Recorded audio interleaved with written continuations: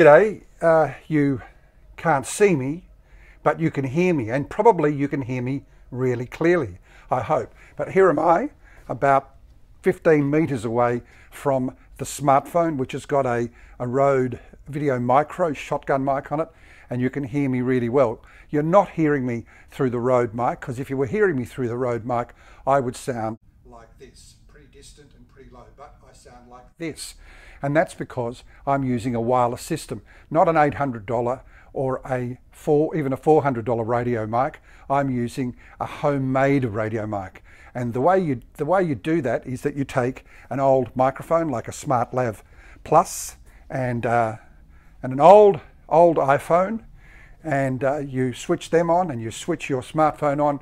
You make a uh, a clap for reference, and then you start. Hi, my name is Ivo and I'm taking part in this tutorial to show you how to create a radio microphone wireless system without spending any dollars. And what you do then is that you switch both phones off, you uh, airdrop the file from this phone, which is a video file, across to the other phone, um, and then you start a new iMovie project you import your vision into the iMovie project, um, which is quite easy. You then uh, extract the audio and you then sync up the claps. Reference.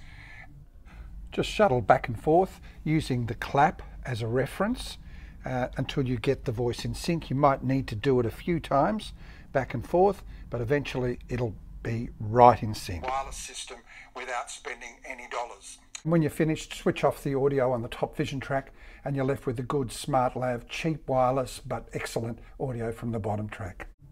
And there you have it, an in-sync radio mic that sounds just like this. Very cheap, it cost me the price of a, a SmartLav uh, and it's um, an old phone that I had lying around. You've just got to have AirDrop. If you don't have AirDrop, you can use AirStash or one of the other devices to get your file across. There it is very, very cheap and very easy way of doing good wireless audio. And the trick is, the truth is, it's actually got a much better range than even wireless microphones. You can go back three, four, 500 meters. It won't matter. And you can run in. It'll be just fine. So there you go. And what, what is it that we used to do back in the days when we used to use this type of stuff? We used to call it an end clap. Go Mojo.